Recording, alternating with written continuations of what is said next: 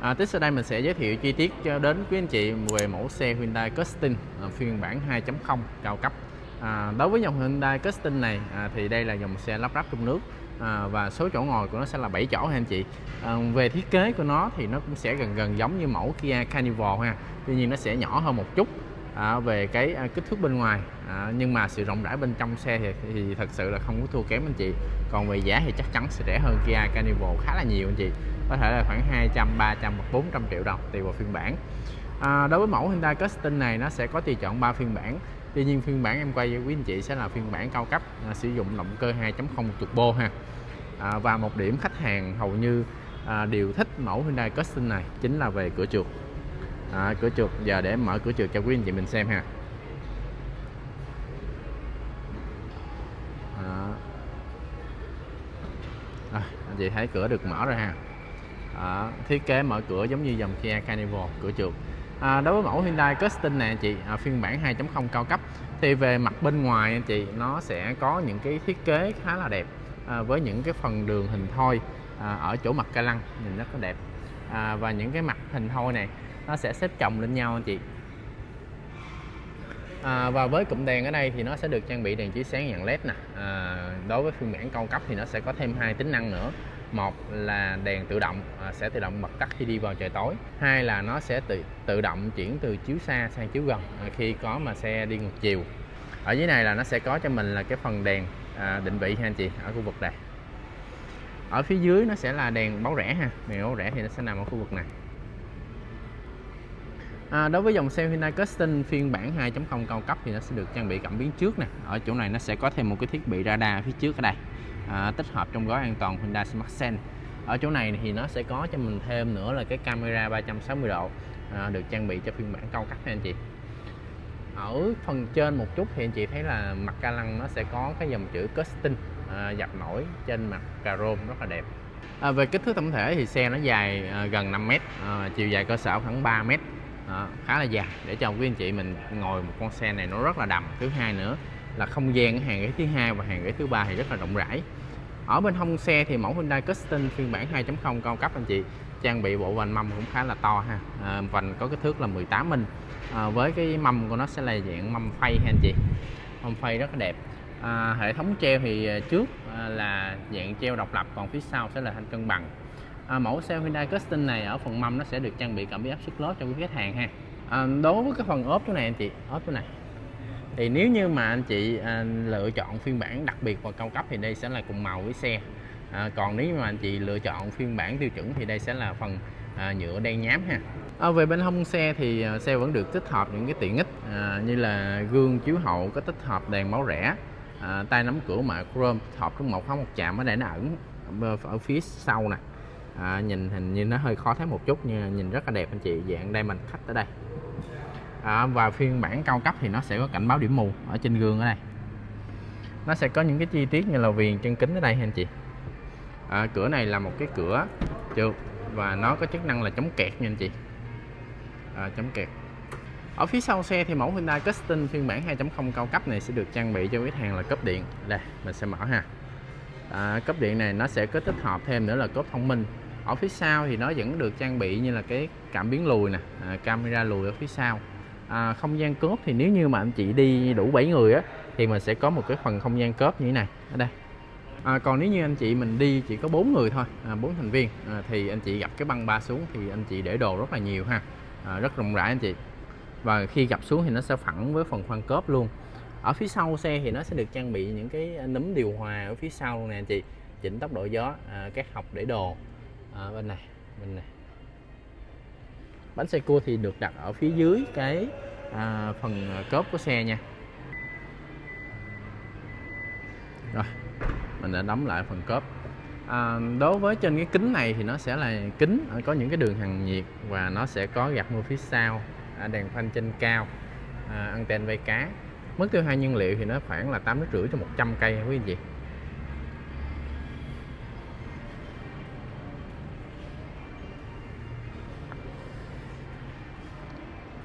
Rồi bây giờ mình cùng khám phá về cái tiện ích bên trong xe ha. Đây là một cái mà có thể nói ờ, khách hàng rất là thích trên mẫu xe Hyundai Custom này.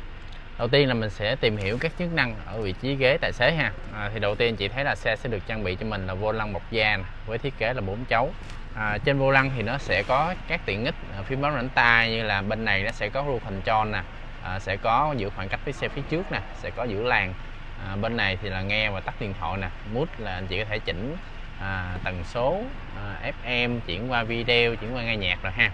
Vô lăng là bọc da ha anh chị. À, và vô lăng là dạng đề khách nè. Ở đây anh chị thấy là xe sẽ được trang bị cho mình là lẫy số trên vô lăng. Màn hình sau vô lăng sẽ là một cái màn hình điện tử à, toàn bộ hiển thị à, tốc độ vòng tua sẽ bằng điện tử hết ha anh chị.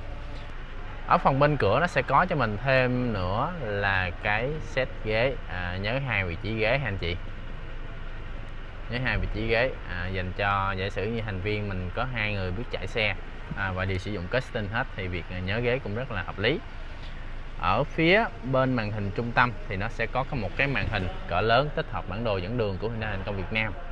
Và bản đồ này mình cũng đã có một cái video à, hướng dẫn quý anh chị mình cài đặt cũng như là sử dụng bản đồ à, và các à, Hyundai Smart Sense trên mẫu xe Hyundai Custom cao cấp ha ở phía dưới nó sẽ có cho quý anh chị là cái à, cần số dạng nút bấm nè à, phanh tay điện tử auto hold à, remote 4 chế độ lái và vị trí của sạc không dây ha. À, ghế của băng ghế thứ nhất toàn bộ đều là chỉnh điện hết ha anh chị. À, với à, thêm một cái nút quốc in ở đây à, nút quốc in ở đây.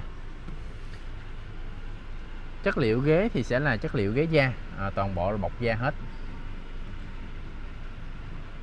ở phía trên thì nó sẽ có một cái cửa sổ trời ở vị trí tài xế và thêm một cái cửa sổ trời ở vị trí hàng ghế thứ hai nữa. Thì cái này mình sẽ gọi là cửa sổ trời kép ha anh chị. Và bây giờ mình cùng trải nghiệm hàng ghế thứ hai anh chị. À, đây có thể nói là một cái điểm mà à, tất cả các khách hàng khi mà lựa chọn custom này à, đều nhắm đến chính là sự thoải mái ở hàng ghế thứ hai.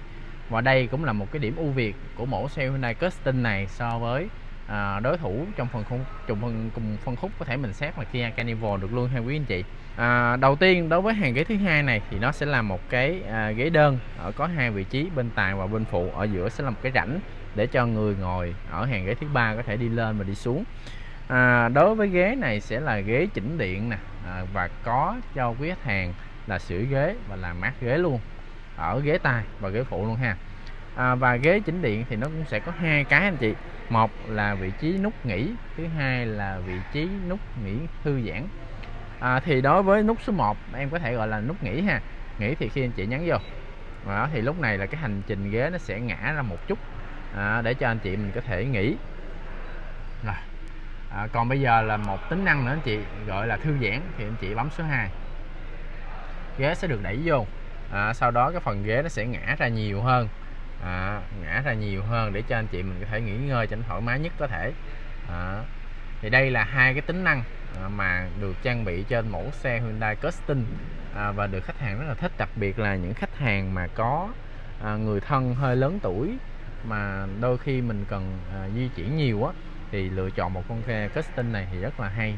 Ở vị trí hàng ghế thứ hai thì mẫu xe Hyundai Custom này còn trang bị cho quý khách hàng thêm nữa là vị trí sạc không dây nè à, hai con cắm USB để cho khách hàng có thể sạc.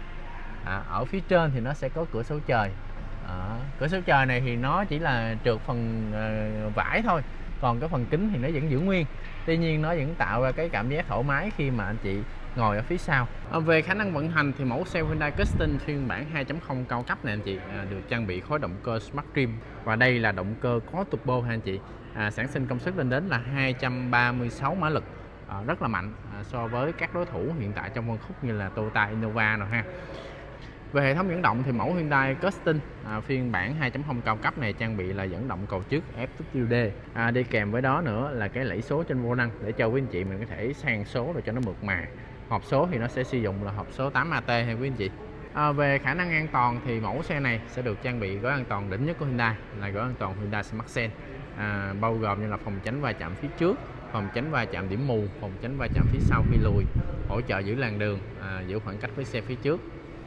À, đèn pha thứ tấn AHB à, ngoài ra vẫn có những cái trang bị an toàn chủ động cơ bản như là chống bó cứng phanh ABS phòng phối lực phanh MBD khởi hành ngang dốc HAC rồi à, thêm nữa là cân bằng điện tử ESC à, về túi khí thì mẫu xe này sẽ có 6 túi khí ha.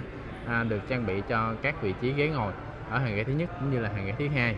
À, về màu sắc thì mẫu xe Hyundai Custom này sẽ được trang bị tổng cộng là 6 màu. À, trong đó có 3 màu cơ bản là màu trắng màu đen và màu bạc. À, với ba màu à, tùy chọn thêm bao gồm là xanh lục bảo xanh bóng đêm và xám kim loại. À, tuy nhiên với ba màu tùy chọn thêm này hiện tại thì nhà máy vẫn chưa có kế hoạch sản xuất ha anh chị. Thành ra nếu như anh chị đặt thì nó cũng khá là lâu á. À, về bảo hành thì mẫu xe Hyundai Custom này sẽ được bảo hành cho khách hàng là 5 năm hoặc là 100 ngàn cây thì điều kiện nào đến trước à, xe hiện tại thì à, cái lượng hàng ừ, tại đại lý thì cũng gọi là tương đối anh chị. Thành ra là anh chị quan tâm về mẫu xe này anh chị vui lòng liên hệ với mình thông qua số điện thoại 0931777029 để mình có thể cập nhật về tiến độ giao xe cũng như là báo giá lăn bánh à, mới nhất tại thời điểm mà anh chị yêu cầu ha. À, xin cảm ơn quý anh chị đã theo dõi hết video này. Xin chào và hẹn gặp lại quý anh chị trong những video tiếp theo nha.